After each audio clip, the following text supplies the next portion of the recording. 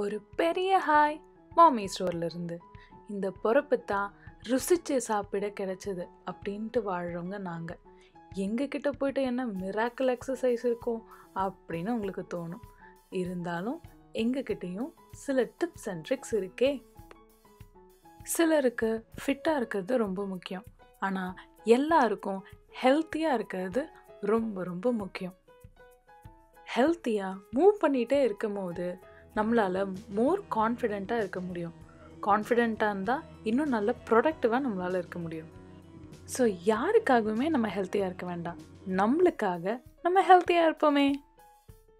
வாங்க இப்போ என்ன பண்ணணும்னு பார்ப்போம் எந்திரிச்ச உடனே ஒரு பர்ஃபெக்டான எக்ஸசைஸ் லொக்கேஷனை தேடி போகிறீங்க அப்புறம் நீங்கள் கம்ஃபர்டபுளாக எக்ஸசைஸ் பண்ண தேவையான விஷயத்தெல்லாம் செய்கிறீங்க அப்புறமா நல்ல warm up exercises stretching exercise எல்லாத்தையும் செய்கிறீங்க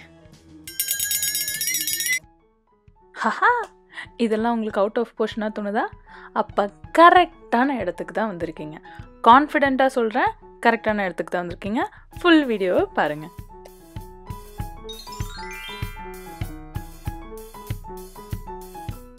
வாக்கிங் இல்லை ஜாகிங் உங்கள் ஓவரால் ஹெல்த்துக்கு ரொம்ப நல்லது. ஈஸியும் கூட. அழகாக குழந்தைய ஸ்டோலரில் போட்டுட்டு சின்ன சின்ன ஸ்டெப்ஸாக முதலிடுங்க.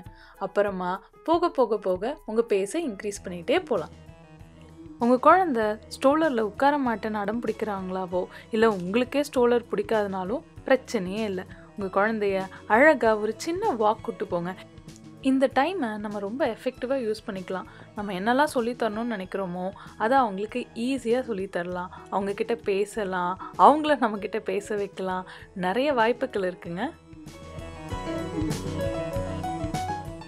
உங்களுக்கு வெளியே கூட்டு போக விருப்பம் இல்லைன்னா நம்மளுக்காகவே தான் இருக்குது ஆன் ஸ்பாட் ஜாகிங் இது இருந்த இடத்துலையே ஒன்று நீங்கள் ஸ்லோ பேஸில் மொதல் மார்ச்சிங் மாதிரி ஆரம்பிக்கலாம்.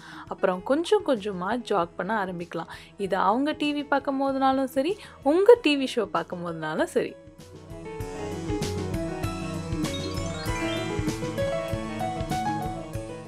ஓகே நெக்ஸ்ட்டு இப்போ கொஞ்சம் அப்பர் பாடி ஒர்க் அவுட்ஸ் பார்ப்போம். இதில் உட்காந்துட்டு இருக்கும் போதோ நின்றுட்டு இருக்கும் போதோ எப்பயா இருந்தாலும் உங்கள் கையை ரெண்டுத்தையும் கிறிஸ் கிராஸ் எக்ஸ் போடுற மாதிரி ஆனால் ஒரு மூமெண்ட்டை கொடுங்க. நெக்ஸ்ட்டு உங்கள் கை குறையிறதுக்கான ஒரு எக்ஸசைஸ் ஒன்று விசில் வர்றதுக்கு முன்னாடி உங்கள் கையில் எட்டு போடலாம் இல்லைனா அப்படியே ஸ்ட்ரெச் பண்ணி நிறுத்தலாம். இந்த ரெண்டு டைப்லேயுமே உங்கள் ஆர்ம்ஸ் நல்லா ஸ்ட்ரெயின் ஆகி நல்லா குறையிறத நீங்கள் பார்க்கலாம்.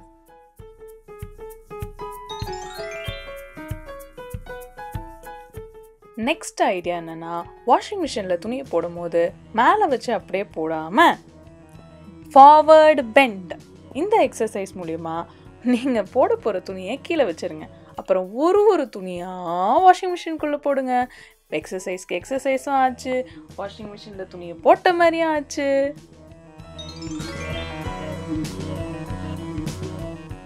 நெக்ஸ்ட் ஒரு சைட் பெண்ட் எக்ஸசைஸ் குழந்தைங்களுக்கு சொல்லித்தரும் போதோ இல்லை சும்மா நின்றுட்டு இருக்கும் போதோ நீங்கள் உங்களோட சைட்ஸில் பென் பண்ணலாம். இது உங்களோட வேஸ்ட்டை நல்லா குறைக்கும்.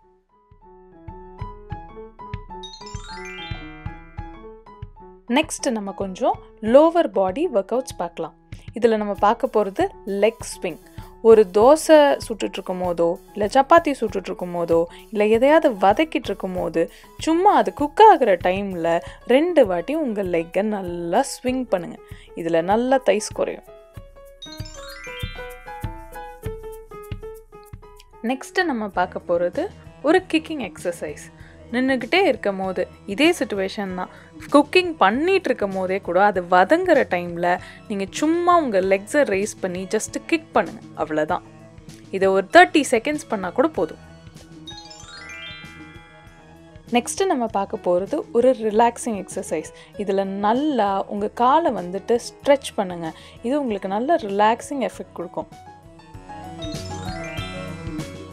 லாஸ்ட்டு ட்ரிக்கு தாங்க. ரொம்ப ரொம்ப மிராக்குலஸான ட்ரிக்கு இது என்னன்னா அவங்க குழந்தைங்க கூட விளாடுறது அவங்க கூட விளாடும் போது தான் நம்மளோட கேலரி டெஃபிசிட்டை நம்ம கண் கூட பார்க்கலாம்.